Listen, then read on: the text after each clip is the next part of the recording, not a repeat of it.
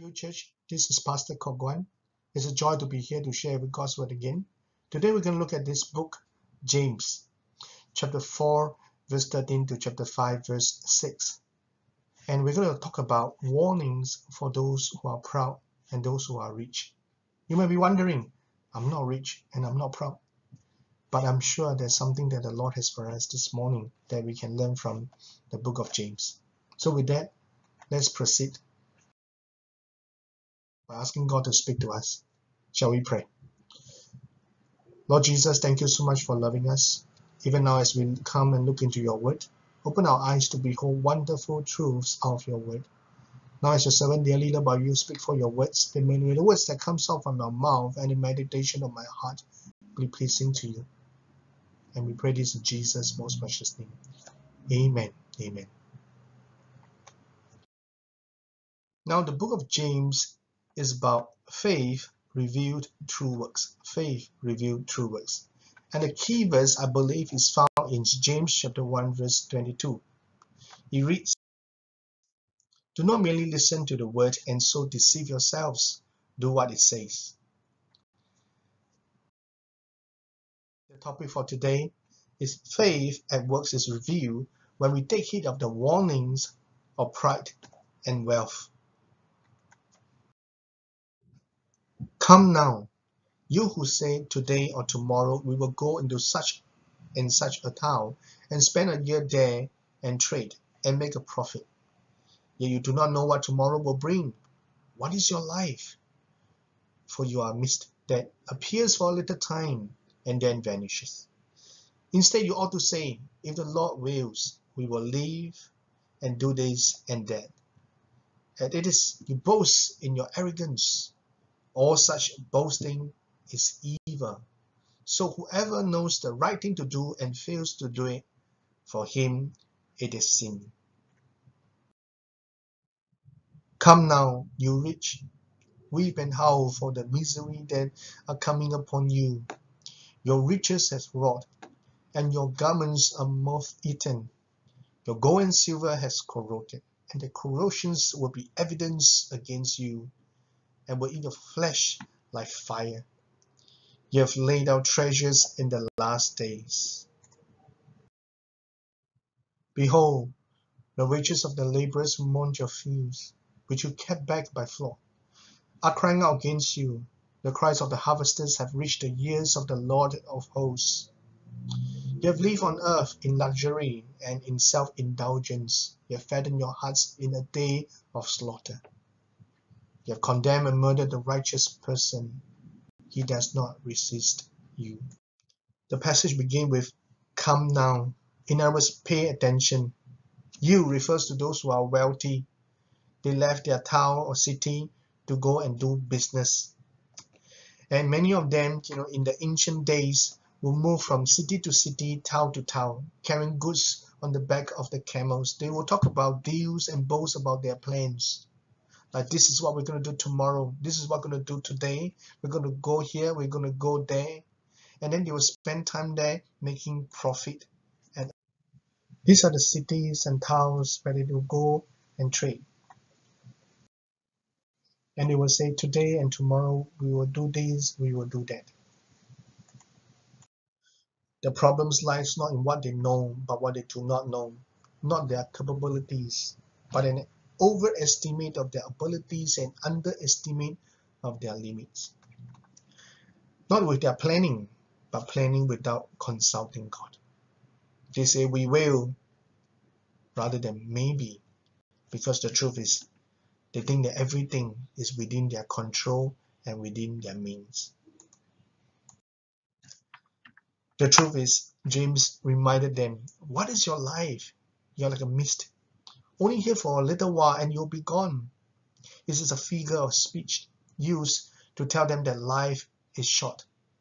For some of you, you know, or most of you, you're very young, but time passes very fast. It would be pure arrogance to say that we still have a lot of time left. We don't.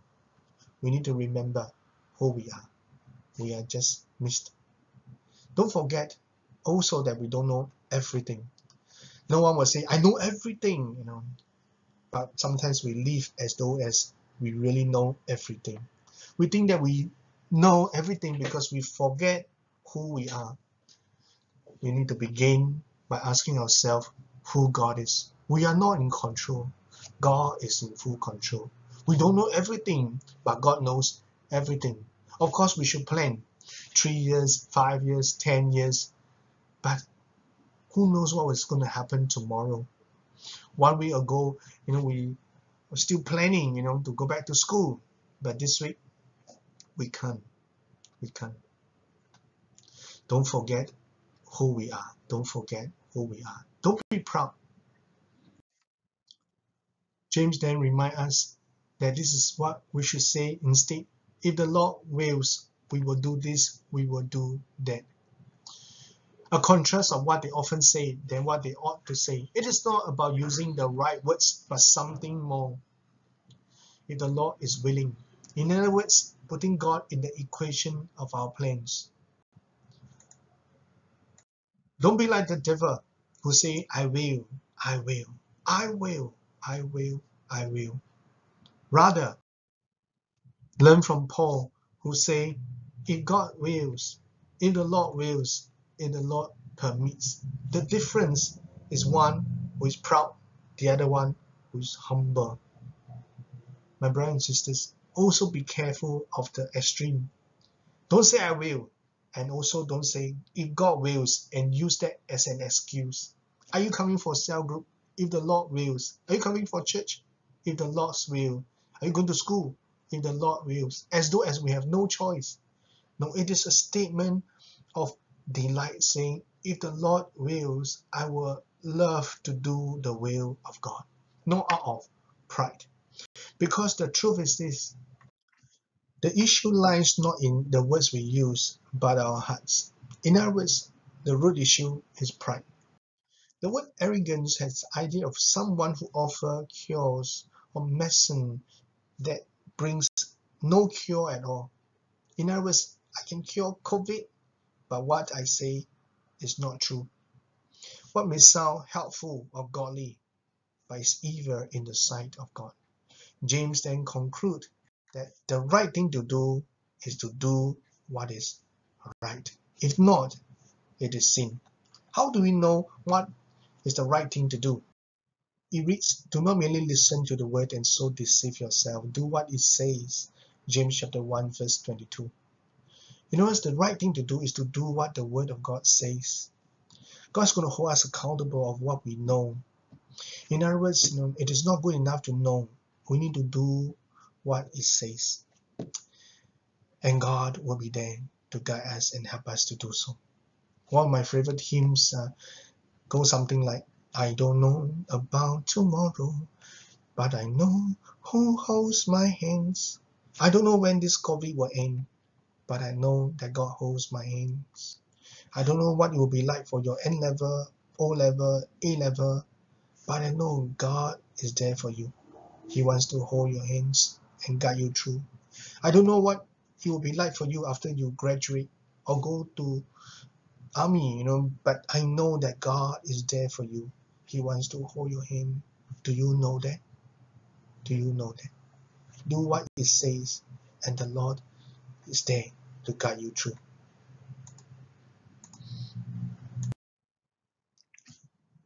After talking about pride, James continued by saying, Come now. Eh? Come now. In other words, pay attention.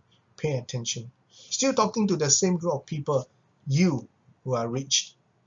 But there is a different warning. He says that the problem is not with those who are rich, but ungodly rich. You may say that I'm not rich. You know, wealth in this context is defined not by what you have, but what you do with what you have. And God is the one who gives us wealth. Deuteronomy chapter 8, verse 18. It is not a sin to be rich, but the problem is how we use it. How we use it. And James continued to say that, you know, there's something that's inside we need to be very careful of, beside pride, and that is greed. He used these two words, weep and howl. Weep and howl. The word weep has the idea of to cry quietly in tears, something like, or to howl.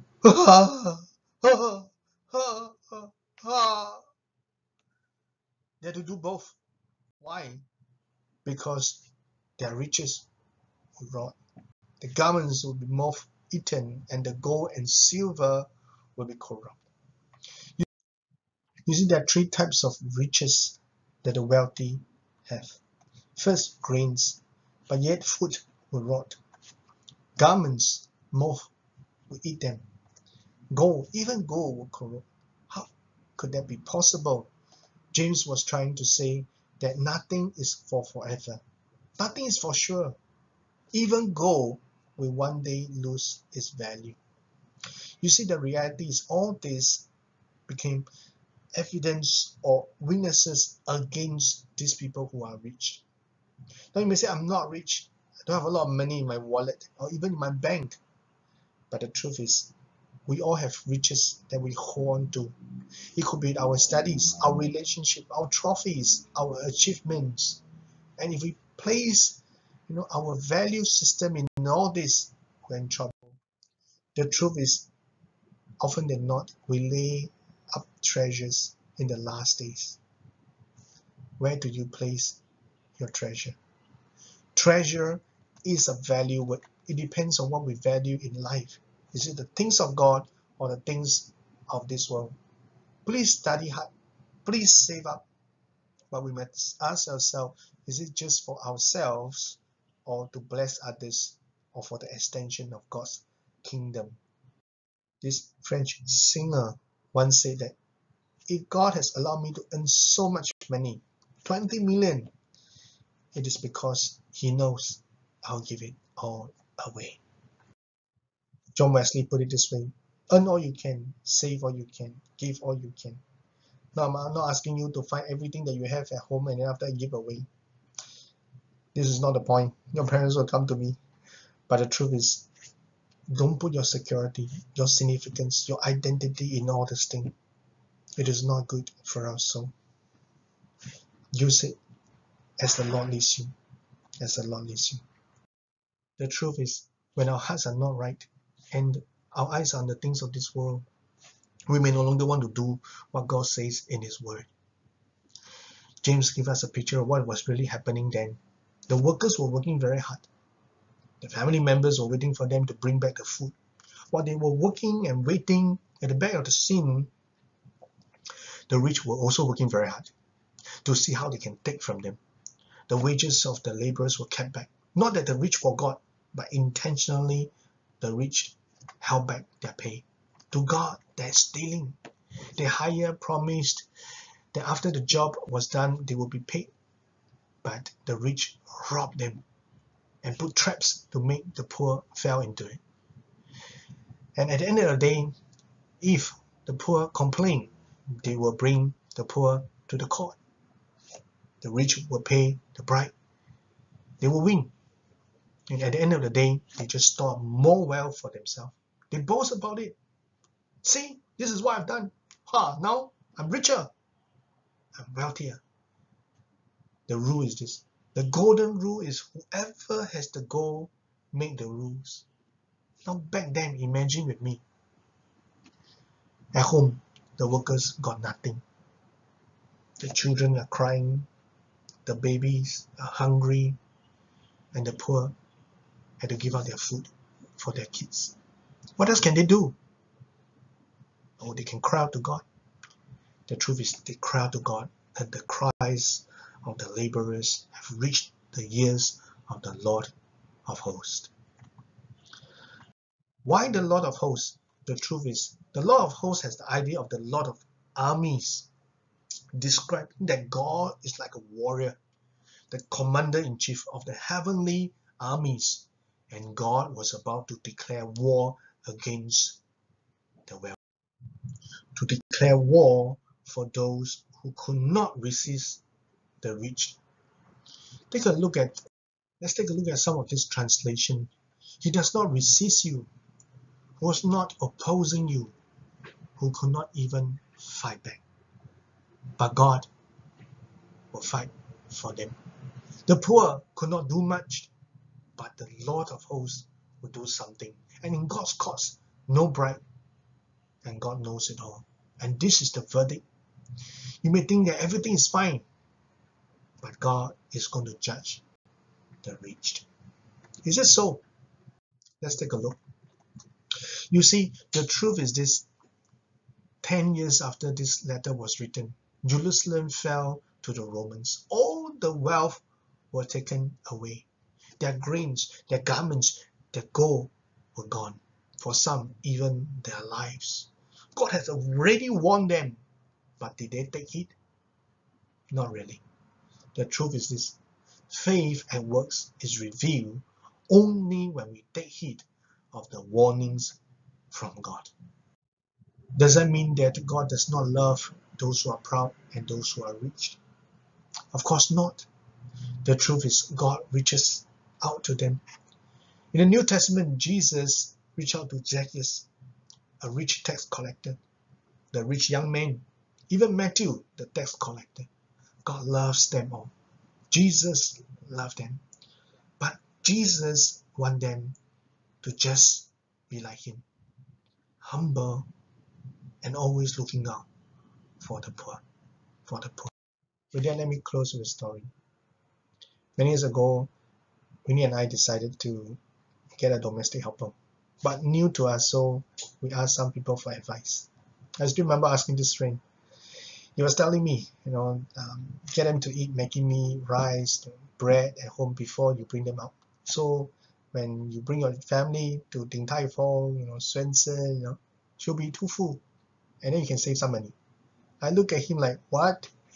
And he continued to say, buy them not so good shampoo, soap, and then if she say not so good, you can ask her to buy her own, and then you can save some more money. I didn't take his advice, you know, he's not a believer, but the Lord bless him, you know, and um, but of course there are also good advices that we got from others. So we got this uh, domestic helper. We call her by name. We treat her as like our younger sister. And we asked her, is there anything else we can do for you? She said she want to learn English because she has a son and uh, when she returns she hoped to teach him English. Just nice, Minnie is an English teacher, you know, so and that's what we did. She worked for us for five years. We knew that um, perhaps it was not enough, you know, for her to return, but we didn't want to stop her because the son needed her. Pray for her and share Christ with her, and she accepted Christ. It was then, you know, uh, she left us. A few months later, she texts us to say that oh, not enough, need to come back and work. But uh, we share her that we already got another domestic helper, you know, so we can't have her. It was then um, she went to Taiwan and worked.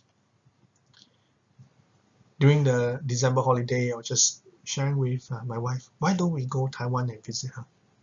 And also for our holiday. And that's what we did. You know, the first picture was Winnie and myself, you know, went Taiwan to visit her. One year later, my children say, we want to visit auntie also. You know, and then we went Taiwan again. This time round, you know, with our children. Back in Singapore, you know, there was one, you know, we were just watching news and Taiwan had typhoon. My girl just closed her eyes. So I told her, maybe it's okay, no need to be scared, you know, it's news, right? No need to be scared. And she said, no, I'm praying for auntie. I'm praying for auntie. It was then I realized that we have taught our children something that the Lord has laid upon our hearts, and that is that we are not better than our domestic helper. They are here to work for us, but that doesn't make us better. So we need to guard our heart from pride. And we have learned also like the importance to give. And you see the first uh, picture, you know, in what happens that we bought her something and she brought us something as well. Yeah. So let me leave lessons with you today. guard our hearts from pride. We're not better than the foreign workers or the domestic helpers. Rather, let's reach out to them with love. Also, we're not better than our friends, you know, just because um, we're better in our studies or sports or even our Bible knowledge. Let's recognize that at the end of the day, God knows everything we don't. It's by God's grace that we can be who we are today. So watch out for pride. Second, watch out for greed. How? By giving to others as the Lord lead us. You can give your time. You can give energy. You can give even whatever that God has given to you. For example, for us, it could be just to teach our foreign uh, domestic helper uh, English. How about you? What is it that you can give? And don't hope, oh, this is mine, this is mine. No, God has given to us so that we can give. So what is it that God has given to you that He wants you to give? That will help us to guard ourselves from greed. So brothers and sisters, at the end of the day, whatever that we study in the Holy Scriptures, we must put it into practice. Then this faith at work will really help us to grow. Allow me to just close this time with a word of prayer. Let's pray. Father, we thank you so much for this time that we can have together to just look into your word and to learn. Now, even as um, your word go forth, we just pray the Lord that, that you will not return to your void, but accomplish whatever the Lord that you desire. God our hearts from pride. And Lord, so that God, we will not place you know, our security, our significance in what we have. But Lord, that we will place our significance and security in you and you alone. And help us so that Lord, um, that we will give as you lead us and direct us, Lord, even as we put our trust in you. Thank you, God. We give thanks to you and pray this in Jesus' most precious name. Amen. Amen. The Lord bless you.